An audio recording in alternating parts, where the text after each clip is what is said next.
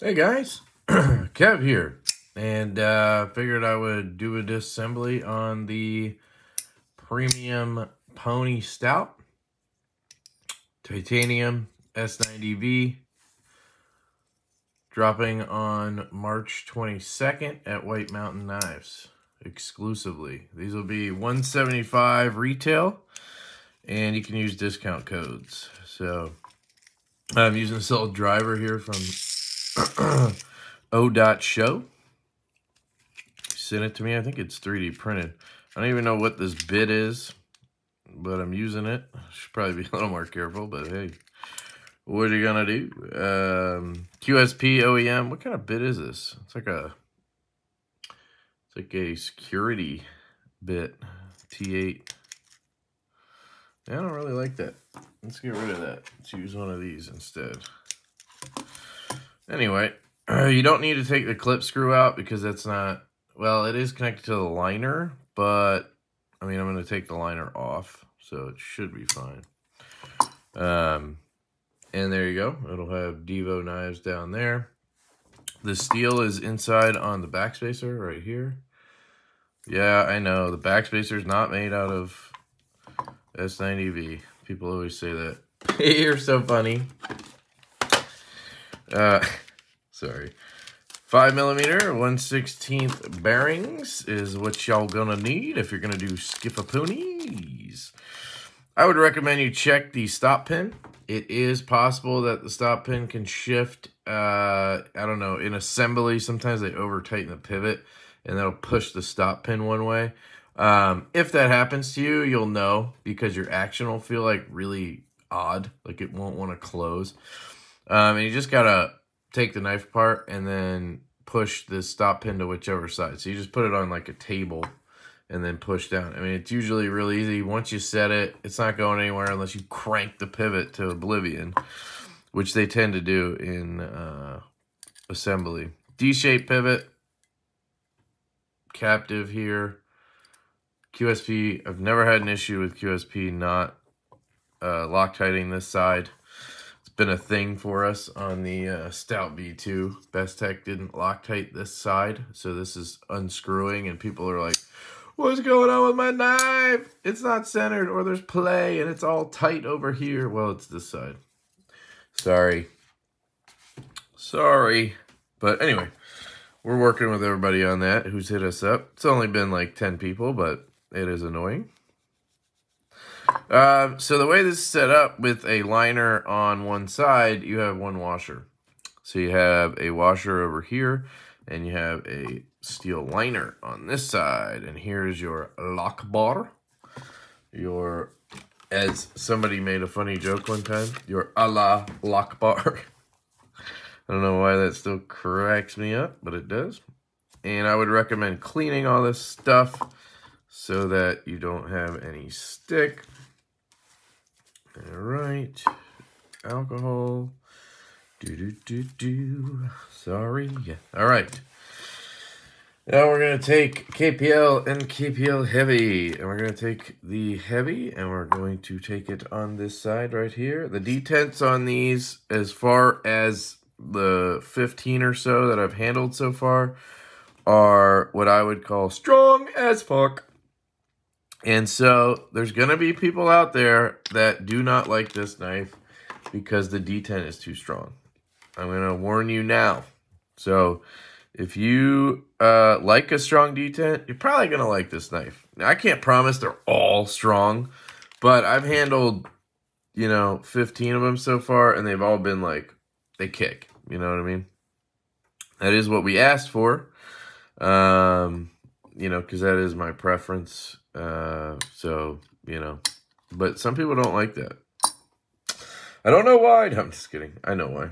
Um, yeah, if you have like arthritis or something, this might not be the best knife for you. But it's very similar to the OG. So if you had one, you should know it's, it's, um, yeah, it's a little bit stout, as they would say. So we put our skiffs in. We got it lined up here. I'm going to clean this pivot screw.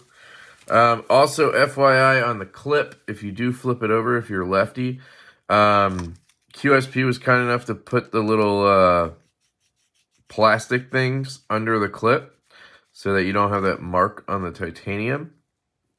Um, but one other thing to note is that the clip screw on the uh, clip side is longer than the clip screw on the show side. So if you flip the clip, make sure you take the screw that is with the clip because you'll find that you cannot get the clip in with that other um, screw. So just want to point that out.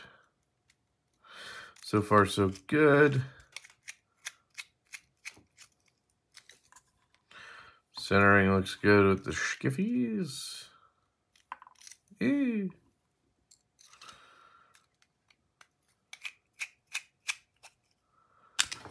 Wow. That's me for you. It's fine. Just being a dumbass. All right. Centering's good. Detent feels good. No stick. No play. No rock. Little shake down. And a detent kicks. I mean, look at this. I'm pushing this whole time. Ah. Here's another one.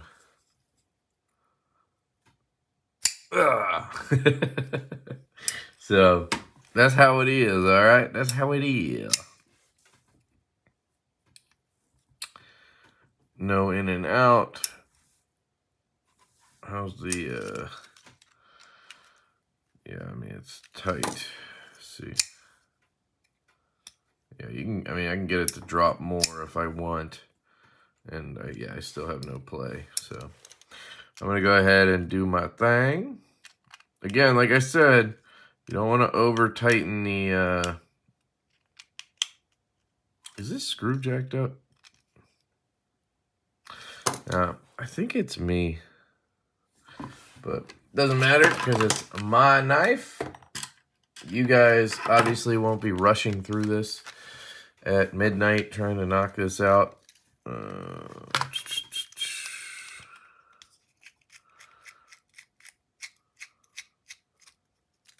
get it too tight. No play. Good action. All right. Do you need the skiffs? Eh, not really. Why do I do it then? Well, because I put them in everything, guys. You can go to skiffworkshop.com. You can use my code, LeftyEDC. There's also an affiliate link down there. It does help the channel if you guys use those links.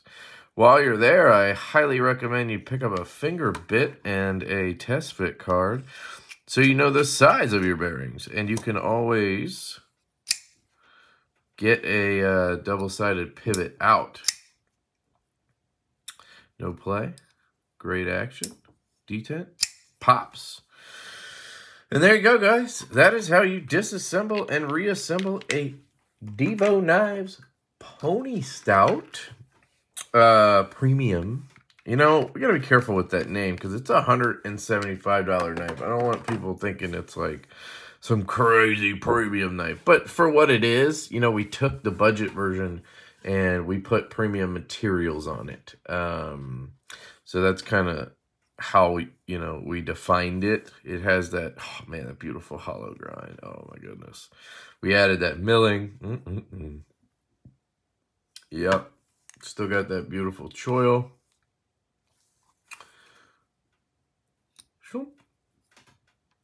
Yeah, it's just going to break in. No lash, nothing. QSP did a good job on these. Um, I think we hit the price point we wanted and, and everything kind of worked out on this. So I hope you guys enjoy them. But these are dropping on the 22nd. If you're interested, the growlers may have already dropped by the time this video goes up. I'm not sure. Um, on the 4th of March, we dropped a few hundred of these at White Mountain Knives. Hopefully, if you wanted one, you got one. Uh, maybe they're still available. Very possible.